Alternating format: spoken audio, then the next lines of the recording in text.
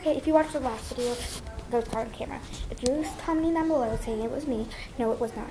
I wasn't there, and I just watched the video, and I'm so scared right now, and I just, um, I'm going to talk to you who it is.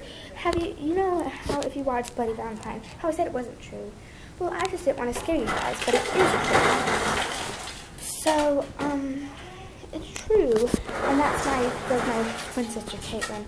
I'm sorry she interrupted you, and I'm sorry if you got scared from it. So, like this video, subscribe, and comment down below. Bye!